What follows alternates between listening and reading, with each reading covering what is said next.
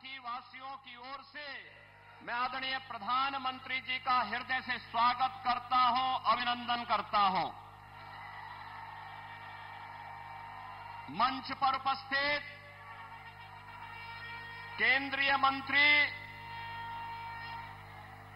अपना दल एस की अध्यक्ष श्रीमती अनुप्रिया पटेल जी,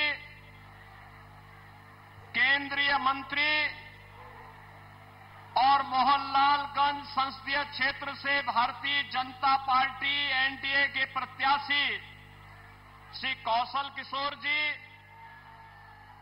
बाराबंकी लोकसभा क्षेत्र से भारतीय जनता पार्टी की प्रत्याशी श्रीमती राजरानी रावत जी, प्रदेश सरकार में मंत्रिमंडल के मेरे सहयोगी श्री सतीश चंद शर्मा जी, सभी माननीय जनप्रतिनिधिगण, भारतीय Janata party, Apna Dal, Nishad party, Suhel Dev Rajbhar party और एनडीए के अन्य सभी सहयोगी दलों के सभी पदाधिकारीगण और भारी संख्या में उपस्थित बाराबंकी की इस पावन धरा पर सभी उपस्थित बहनों और भाइयों, बहनों और भाइयों, देश के अंदर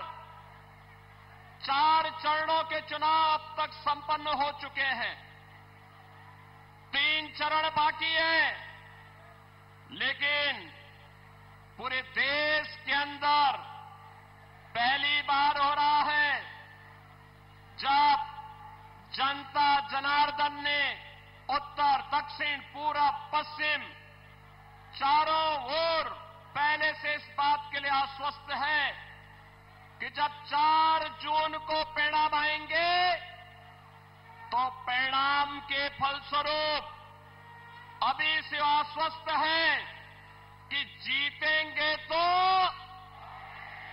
जीतेंगे तो आएँगे तो इसका कारण है, यही कारण है कि हर ओर से एक ही नारा गूंज रहा है। वह नारा है कि फिर एक बार, फिर एक बार, अब की बार, अब की बार। बहन और भाइयों, यह उद्घोष अब जनघोष बन गया है।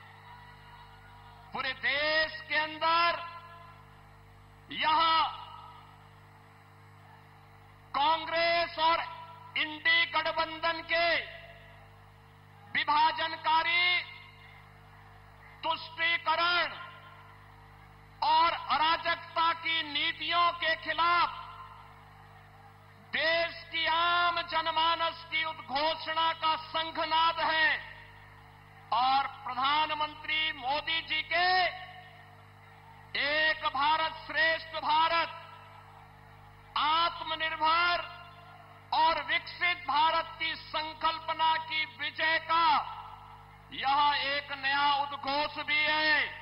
और इसीलिए आज जब इस अवध प्रांत की देवादिदेव महादेव की पावन भूमि बाराबंकी में आदरणीय प्रधानमंत्री जी का आगमन हुआ है। बहनों और भाइयों, यह एक अवसर है जब बाराबंकी को और मोहनलालगंज को और उत्तर प्रदेश को चूकना नहीं है, बल्कि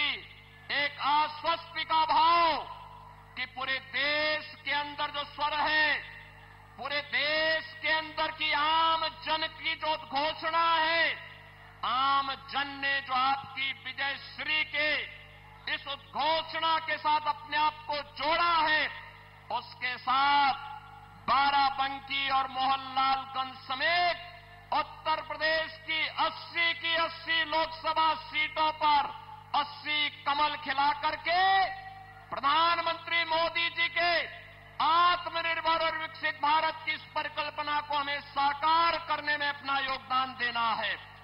और बहनों और भाइयों, इस दृष्टि से आज आदरणीय प्रधानमंत्री जी का मार्गदर्शन हम सबको इस महादेवा की इस पावन धरा पर प्राप्त होने वाला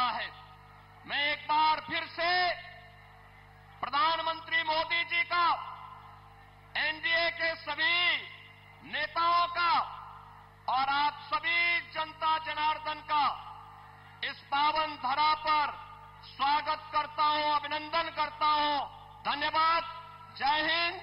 जय श्री राम। जय जय।